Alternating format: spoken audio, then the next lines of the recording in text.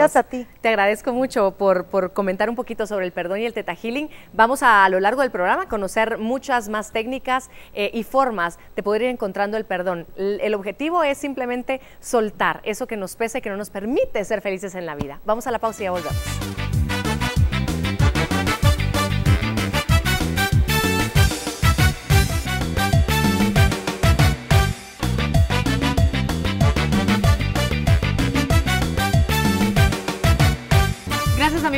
Sintonía. Hoy estamos hablando del perdón. ¿Cómo perdonar? Hay muchísimas formas, pero yo creo que el primer gran paso es querer hacerlo el tener en el corazón el deseo de soltar, aunque cueste, aunque no sepamos cómo ni por dónde. Hoy vamos a contarles a ustedes, o a compartir, mejor dicho, algunas eh, formas, algunas terapias, algunas, algunas historias incluso, que han llevado este proceso. Es un proceso y, y es importante poder saber que existen todas estas herramientas para poder vivir más ligerito, como lo decía hace un momento. En este bloque me da mucho gusto presentarles a quienes ahora me acompañan. José Ricardo Sandoval, además de psicólogo, es especialista en en hipnosis, entre otras muchas cosas. Bienvenido, ¿cómo estás? Gracias, Tuti, bien, gusto saludarte nuevamente y a tu audiencia y es un gusto estar acá. Gracias por acompañarnos. También nos acompaña Natalia Méndez. ¿Cómo estás, Natalia? Bien, gracias. Gracias por acompañarnos. Qué gusto tenerte por acá. Natalia nos va a contar un poquito de su historia, pero en un momentito, porque quiero arrancar contigo, José, para que nos cuentes eh, y para que comentemos un poco de por qué este proceso del perdón puede ser también complicado a la hora de una psicoterapia. No estoy hablando exclusivamente de hipnosis, pero también quiero claro, que hablemos sí. de esto, sino de la psicoterapia. Pues bueno, una cosa interesante es mencionar que aquí las personas han dicho de, sobre el perdón y que quieren perdonar o que seguramente han perdonado o, o, van a perdonar algún proceso a alguna persona en específico. Una de las cosas importantes que yo considero en un proceso de psicoterapia es la toma de conciencia. ¿Quiénes somos? ¿Dónde estamos? ¿A dónde vamos? ¿De dónde venimos? Hemos vivido millones de experiencias a lo largo de toda una vida y recordamos una mínima parte de todas esas experiencias. Exacto.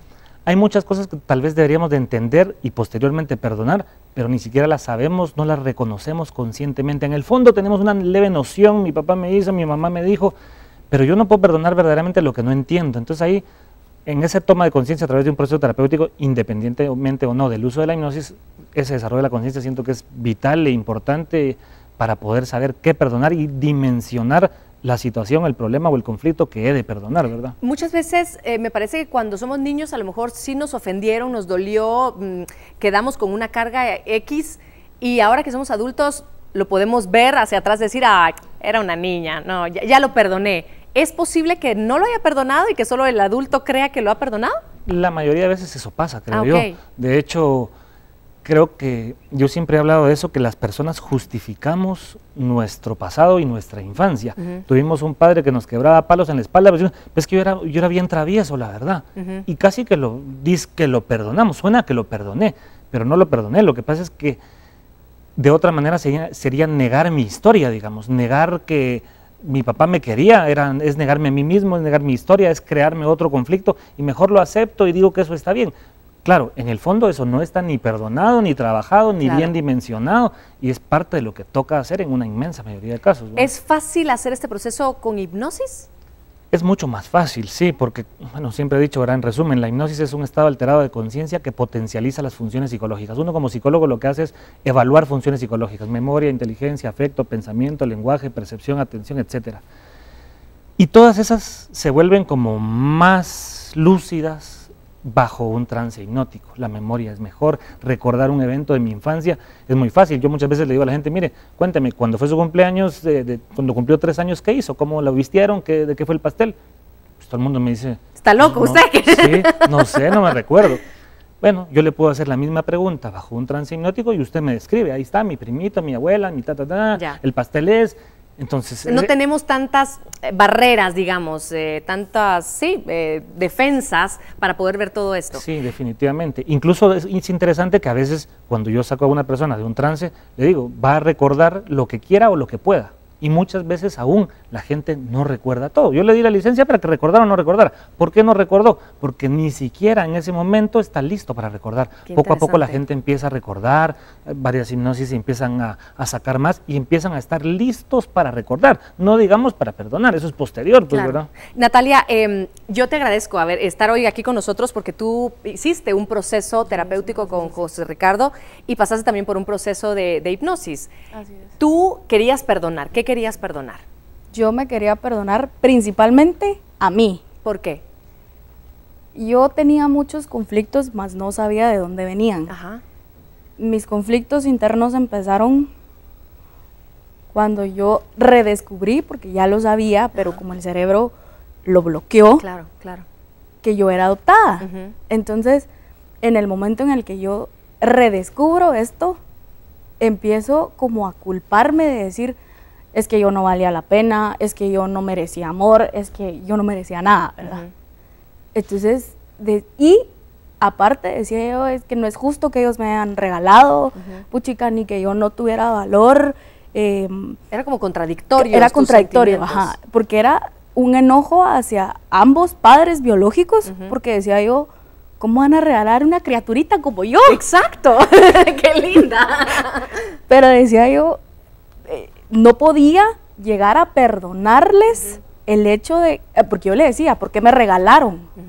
Y la verdad, para mí, la adopción es un acto de amor, porque le dieron un regalo a unas personas, a, mis papás, que ellos estuvieron esperando un hijo durante muchísimo tiempo. Exacto. Entonces fue un acto de amor, pero yo no lo lograba entender porque yo decía, yo hice algo malo. ¿Qué hice yo de malo para poder, para no merecerme tener una familia normal, verdad?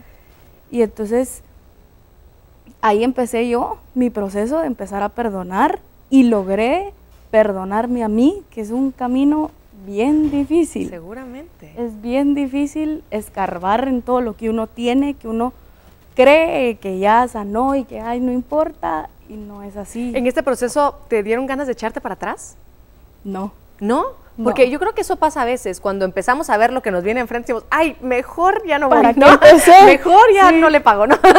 mejor me voy. Sí, exacto, exacto. Eh, me parece interesante que tú, al contrario, te fuiste de frente, ¿no? Yo me fui de frente, sí. Yo me fui de frente y dije, bueno, aquí toqué hedras bien finas de mi persona. Claro. Y dije, bueno, lo que empecé lo tengo que terminar. Y así lo logré, logré perdonar y no juzgarlos, porque sobre todo logré no juzgar el hecho de por qué me habían dado en adopción. Y, el favor realmente no le estás haciendo a ellos al no, juzgarlos, sino es a ti. Es a mí, ajá. A librarte de ese juicio hacia alguien más. Ajá. Y después de las regresiones, todo de verdad fue más fácil.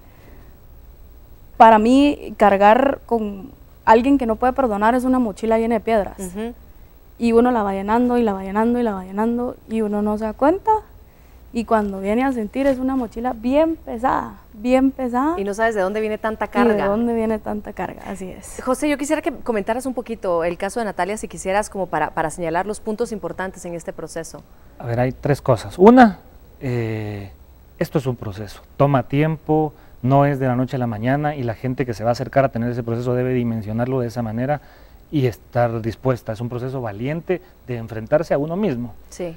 Eh, otra cosa importante es eh, la dinámica de la mente, digamos. La, la mente no funciona como nosotros creemos. Yo o queremos, ¿no?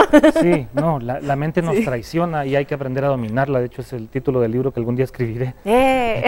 Yo lo empecé a escribir a través de las experiencias, pero no lo he plasmado. Pero sí, yo siento que la gente se desconoce a sí misma y no funcionamos en general como creemos. No somos lo que quisiéramos o lo que creemos ser. Y entender eso es parte del proceso.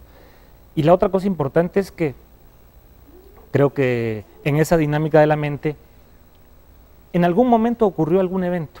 Ese evento nos marca, nos significa y nosotros tenemos una como una compulsión a la repetición. Repetimos ese evento, asociamos una figura materna, paterna, eh, tal situación con algo y lo vivimos repitiendo y recriminando, pero en realidad la explicación básica, la génesis del problema está mucho atrás. Y si no entendemos ese fenómeno, no podemos tratar los otros. Es solo un chapuz lo que nos mantenemos haciendo si no logramos en verdad curar la raíz. Sacar de la raíz, exacto. Me gustaría para concluir con el bloque, Natalia, agradecerte de todo corazón, compartirnos tu alegría, tu energía tan linda, tu brillo.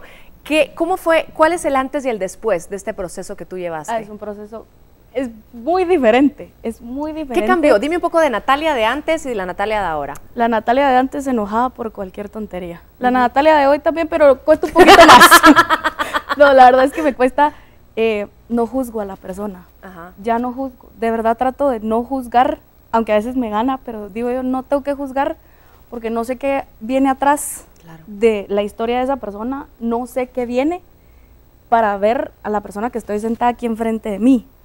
Entonces aprendí a no juzgar, a darle valor a todo, a mi familia, aunque a veces me saquen de quicio, pero igual los amo a todos con todo mi corazón. Son de verdad el regalo más grande que Dios me pudo haber dado es que toda esa familia me haya adoptado y que me traten como una más de la familia. no me es una de la familia. Soy una de la familia, ahora ya no les queda de otra, pero soy una de la familia. Y que nunca, ellos nunca, nunca me vieron como alguien raro.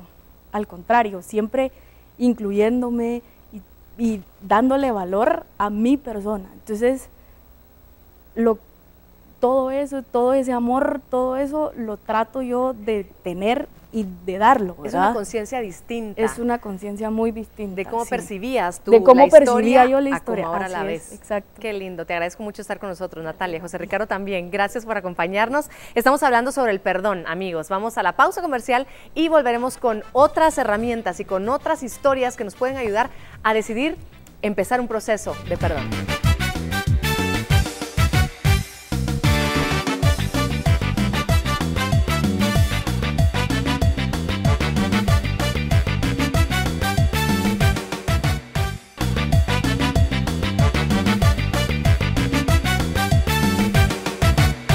Estamos de vuelta en un show con Tuti. Gracias amigos por su sintonía. ¿Cómo perdonar? El perdón. Todos lo deseamos, creo yo. Yo no creo que haya alguien que diga, no voy a perdonar jamás en mi vida, yo quiero permanecer con este rencor por el resto de mis días. Lo dudo, honestamente. Sin embargo, cuesta y cuesta mucho y a veces no somos conscientes de qué manera podemos nosotros hacer esta liberación, liberación de rencor, liberación de odio, de enojo, de pensamientos, de sentimientos, por supuesto, en contra de alguna persona o de alguna situación o de nosotros mismos también. En este bloque me da mucho gusto recibir a Rosario Urrutia. Ella es radiestesista. Eh, bienvenida. Gracias por estar con nosotros.